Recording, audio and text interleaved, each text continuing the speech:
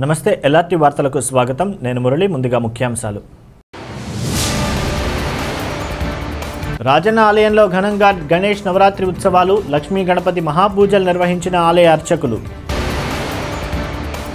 వేములవాడ పట్టణంలో జరగబోయే వినాయక నిమజ్జన ఏర్పాట్లను పరిశీలించిన మున్సిపల్ చైర్పర్సన్ మాధవీరాజు.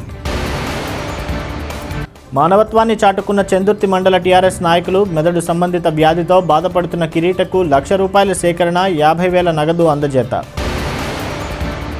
రుద్రంగి మండల కేంద్రంలో ఘనంగా మాజీ శాసనసభ్యులు చెన్నమనేని రాజేశ్వరరావు జయంతి వేడుకలు. కోనరావుపేట మండలం నిజామాబాద్ గ్రామంలో ఘనంగా మొహరం వేడుకలు. దళిత మహిళపై అత్యాచారం చేసిన నిందితులను కఠినంగా శిక్షించాలని బీఎస్పీ జిల్లా నాయకులు మాంకాళి తిరుపతి డిమాండ్.